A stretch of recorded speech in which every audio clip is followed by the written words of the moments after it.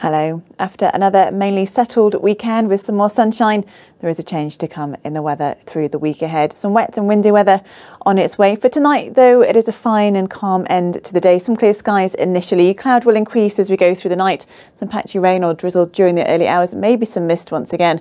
A very mild night, lows between 10 and 14 degrees. The rain will already be across the Isles of Scilly for first thing tomorrow and it will make its way eastwards as we go throughout the day. Some heavy bursts in there could be quite wet for a time for the Channel Islands, but it does clear from most places through the afternoon. It will be breezy from the south, but mild with highs of 17 or 18 degrees. It continues mild for the first few days of next week, but continuing unsettled, wet and windy weather at times, possibly some thunder. Cooler though by Friday.